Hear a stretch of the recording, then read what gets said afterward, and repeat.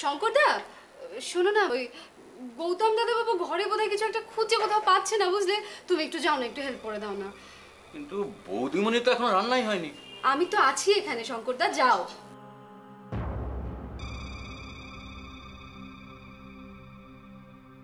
যাও।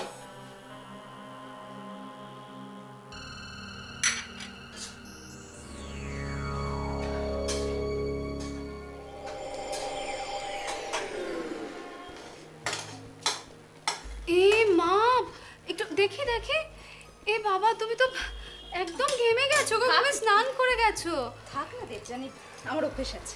আসলে অনেকদিন রান্না বান্নার অভ্যেস নেই তো তাই কাহিল হয়ে পড়েছে। দুদিন করলে ঠিক হয়ে যাবে বলো? আসলে জানোই তো মেজমার তো বাটা মশলা ছাড়া রান্না মুখে দেওয়া চলে না। অথচ দেখো কেনা মশলার প্যাকেট দিয়েও কত ভালো রান্না হয় তাই না? আসলে কি জানো দেবজানি আমার কোনো অভিজ্ঞতা নেই আসলে। ছোটবেলা থেকে আমি আমার বাড়িতেও তো দেখে আসছি যে বাটা মশলাতেই রান্না হয়। এবারের কাণ্ডটা একবার দেখো। এত টাকা ফালতু রোজ খরচ হবে অথচ রান্নার লোক রাখা যাবে না। আর যত ঝোঁককে সামলাতে হবে সব বাড়ির বউকে।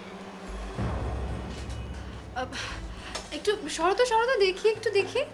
কেমন হয়েছে দেখি?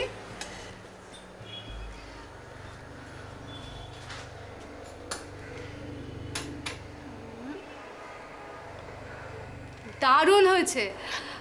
কিন্তু অদিতি একটু নুনটা কম হয়েছে না? তাই নাকি? নুন কম? দেখি একটু চোখে।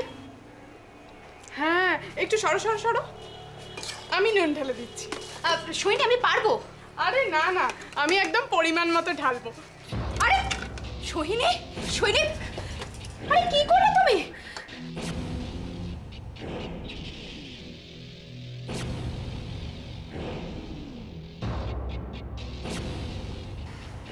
দেখি তো শরত একটু দেখি। ইস, মুখে দেওয়া যাচ্ছে না। ইস। এটা তুমি কি করলে সোহিনী? এত ভালো রান্নাটা নষ্ট করে দিলে। এ বাবা আমি না বুঝতে পারিনি। এখন কি হবে? কি আর হবে? রান্নাটা ফেলে দিতে হবে। নতুন করে রান্না করা ছাড়া তো আর কোনো উপায় দেখছি না। সরি অদিতি বৌদি। আমার খুব ভুল হয়ে গেছে। প্লিজ আমাকে ক্ষমা করে দাও। আমাকে তুমি মারো। কি যে করলাম না? থাক থাক থাক। আর ন্যাকামো করতে হবে না। যা করার অলরেডি করে দিয়েছ। সারাদিন ধরে মেয়েটা রান্না করল হসপিটালে না গিয়ে তুমি দিলে যা করার করে। চলো তো এবার ওকে ডিস্টার্ব না করে রান্নাটা করতে দাও। চলো তো। সত্যি, তুমি পারো সোহিনী